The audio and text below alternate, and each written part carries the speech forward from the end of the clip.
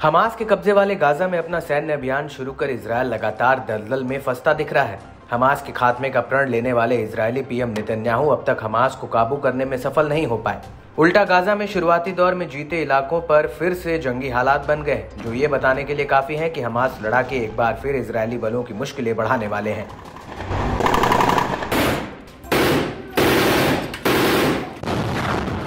यही वजह है कि जीत की कोई उम्मीद न दिखने से तिलमिलाए पीएम नेतन्याहू ने अपना सैन्य अभियान तेज कर दिया है और दक्षिण गाजा के रफा शहर पर कहर बरपाना शुरू कर दिया है। इस बीच नेतन्याहू को इसराइल और अपनी सरकार से भी बगावत की चिंगारी अब शोलों में भड़कनी शुरू हो गई है। पहले रक्षा मंत्री योंग गैलेंट और अब वॉर कैबिनेट मंत्री बेनी गैंड्स ने भी आँखें ततेरनी शुरू कर दी है। दरअसल इसराइल जैसे जैसे गाजा में आगे बढ़ रहा है, नेतन्याहू की वॉर कैबिनेट में नई दरारें दिखनी शुरू हो गई हैं। इसराइली मंत्री बेनी गेंट्स ने नेतन्याहू को एक धमकी दी है। इसमें उन्होंने प्रधानमंत्री को युद्ध कैबिनेट के लिए छह पॉइंट्स में प्लान तैयार करने के लिए 8 जून तक का समय दिया है। ऐसा नहीं करने पर गठबंधन से अपनी पार्टी को अलग करने की धमकी दे डाली है। इसमें यह फैसला भी शामिल होगा कि हमास के साथ युद्ध के बाद फिलिस्तीन इलाके पर कौन शासन कर सकता है। ऐसे में साफ़ है कि गाजा युद्ध की आँच अब इजरायली सरकार तक आ पहुँची। यही वजह है कि इजरायली नेताओं के बीच तनाव बढ़ता दिख रहा है।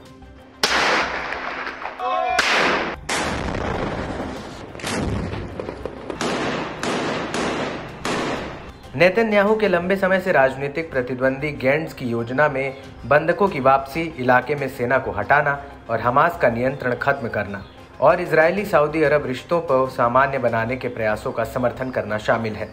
उन्होंने कहा कि यदि आप कट्टरपंथियों का रास्ता चुनते हैं और पूरे देश को पीछे ढकेलने का काम करोगे तो हम सरकार छोड़ने के लिए मजबूर हो जाएँगे। इसराइली सैनिक तो मोर्चे पर अविश्वसनीय बहादुरी का प्रदर्शन कर रहे हैं, लेकिन उन्हें वहाँ भेजने वाले लोग कायरता दिखा रहे हैं। बंधक गाजा की अंधेरी सुरंगों में नर्क की यातनाएँ झेलने को मजबूर है। इसराइली जनता भी आगे आ रही है।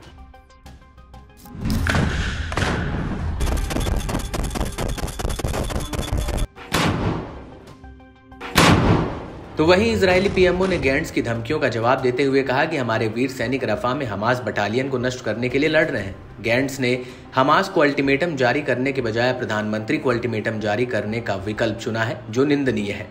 बेनी गेंट्स की शर्तों का मतलब साफ़ है कि युद्ध का अंत और इसराइल की हार बंधकों को छोड़ना और हमास को सत्ता देना और एक फिलिस्तीनी राज्य बनना होगा। वहीं गेंट्स के कार्यालय ने भी पीएमओ के बयान पर पलटवार करते हुए कहा कि अगर प्रधानमंत्री ने गेंट्स की बात सुनी होती तो हम महीनों पहले रफा में दाखिल कर चुके होते और मिशन पूरा हो चुका होता। यदि आपातकालीन सरकार प्रधानमंत्री के लिए महत्वपूर्ण है तो उन्हें आवश्यक चर्चा करनी चाहिए, आवश्यक निर्णय लेने चाहिए और अपनी सरकार में चरमपंथियों के डर से अपने पैर पीछे नहीं खींचने चाहिए।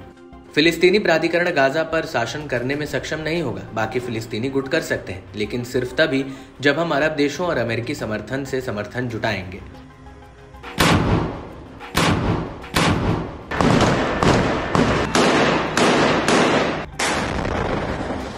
बताते चले कि नेशनल यूनिटी पार्टी के नेता, आईडीएफ के पूर्व chief of staff Benny Gantz, जो हाल के वर्षों में नेतन्याहू को हराने में बार बार विफल रहे, बीते साल 7 अक्टूबर को हमास के हमले के कुछ दिनों बाद एक इमरजेंसी वॉर अलायंस में नेतन्याहू के साथ शामिल हुए थे।